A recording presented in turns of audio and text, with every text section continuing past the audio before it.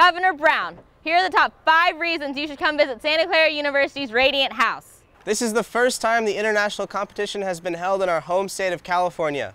Come see how SCU students are leading the way to a sustainable future. Number four, forget cutting boards. Find out why bamboo is going to revolutionize the construction industry. It's a concept that SCU is pioneering.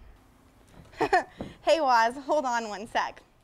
We're loading up the house with Silicon Valley tech. You'll be able to open and close the blinds, windows, and doors, as well as turn on and off the lights with just a push of the button from your smartphone. Yeah, I thought Ashton was great in the movie, but I thought Brad Pitt would have played you much better. Number two, normally when you think of using water in a home, it's either for showering, doing your dishes, or watering your plants. But an innovative system inside Radiant House actually uses water to heat or cool the interiors. We'll show you how. And the number one reason that you should come visit Santa Clara University's Radiant House. After two third place finishes, we're ready to bring home first for you and our other alumni. Go Broncos!